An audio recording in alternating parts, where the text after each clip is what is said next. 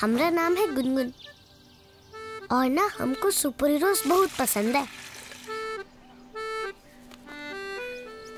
ऐसा कुछ है ही नहीं जो वो नहीं कर सकते।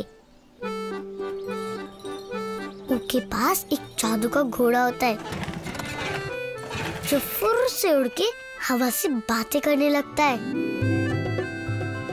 सुपर हीरोज कभी नहीं हारते, कभी नहीं रोते। उनके लिए सब कुछ मुमकिन है। एक सीक्रेट पता है? हमारे पास भी एक सुपर हीरो है। हमारे पापा, हीरो हीरा लाल